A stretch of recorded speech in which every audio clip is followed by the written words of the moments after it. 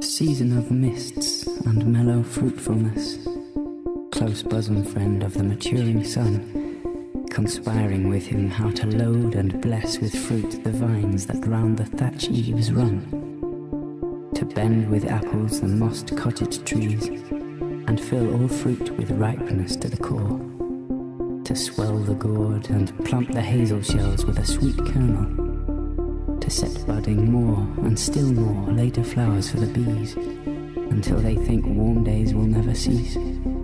For summer has o'er-brimmed their clammy cells. Who hath not seen thee oft amid thy store?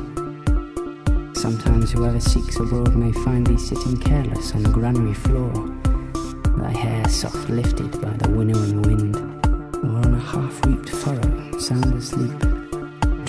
with the fume of poppies, while thy hook spares the next swath and all its twined flowers.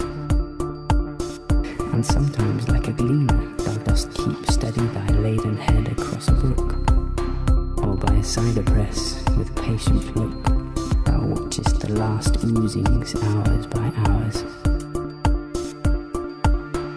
Where are the songs of spring?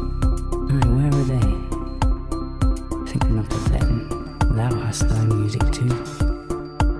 While bar-red clouds bloom the soft dying day, and touch the stubble plains with rosy hue, then in a wailful choir the small gnats mourn among the river sallows, borne aloft or sinking as the light wind lives or dies, and full-grown lambs loud bleat from hilly bourne.